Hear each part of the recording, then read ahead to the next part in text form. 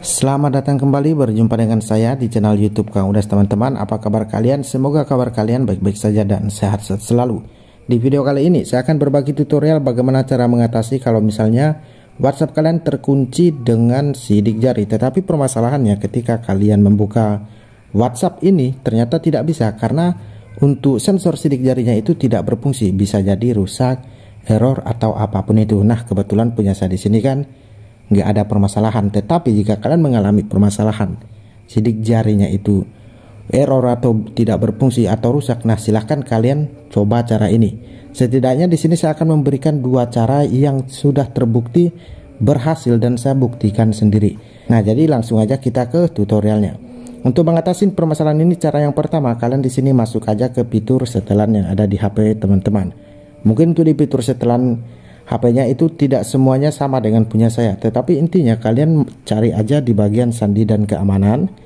Nah kalian cari di bagian sandi dan keamanan. Kalau nggak ada sandi dan keamanan, kalian langsung aja masuk ke kunci layar. Di situ ada kunci layar. Nah silahkan kalian pilih untuk kunci layarnya, kemudian masukin terlebih dahulu untuk polanya.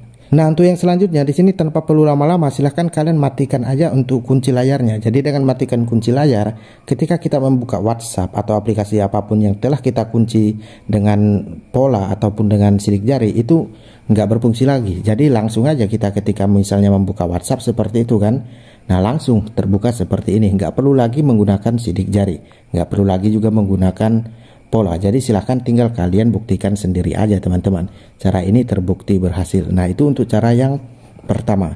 Kemudian ada lagi untuk cara yang kedua. Cara yang kedua ini terbilang cukup ekstrim jika memang kalian nggak mendapatkan di fitur pengaturan untuk sidik jarinya. Tapi seharusnya itu ada teman-teman. Nah cara yang kedua ini silahkan kalian masuk ke bagian untuk info aplikasi. Di info aplikasi ini kalian tinggal hapus aja data dari WhatsAppnya. Tetapi perlu kalian ketahui dengan menghapus data ini memang untuk sidik jari itu juga akan terhapus. Tetapi untuk semua data yang ada di WhatsApp kalian seperti chat media apa pun itu juga akan terhapus karena kita menghapus data. Ini kalau misalnya untuk yang sidik jari yang di pengaturan tadi nggak bisa ya kalian pakai gunakan cara ini. Walaupun saya nggak menyarankan karena untuk semua data itu akan terhapus. Oke itu saja untuk tutorial kali ini ya. Semoga bermanfaat dan terima kasih.